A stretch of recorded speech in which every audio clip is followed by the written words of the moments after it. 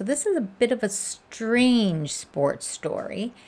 UFC star Sean O'Malley, who is a bantamweight contender, revealed that in a recent trip to Mexico, when he was getting treatment on his um, lingering knee injury, he was convinced to get stem cell injections in his um, man part.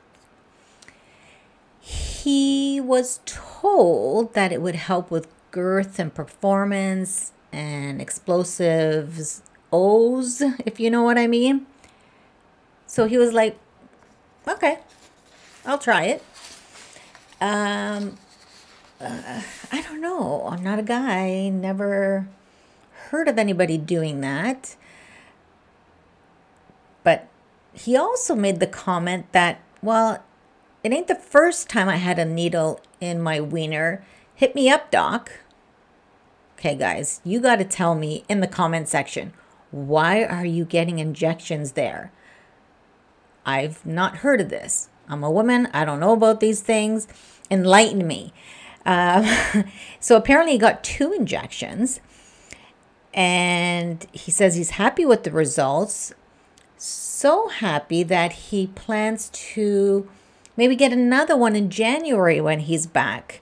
Apparently, this procedure is called P shot or Priapus shot and it's supposed to help improve sex drive, improve erectile dysfunction, and offer increased girth.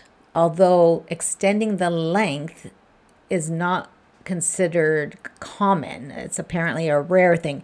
But he's saying he got four inches. Come on now. We know that's an exaggeration. But guys, tell me about this. Would you do this to yourself? Subscribe to Rovos Rants, hit the like button I know this is a different sports kind of story, but I was just curious once I read this. Uh, and don't forget to hit that bell to notify you when I have uh, another stream on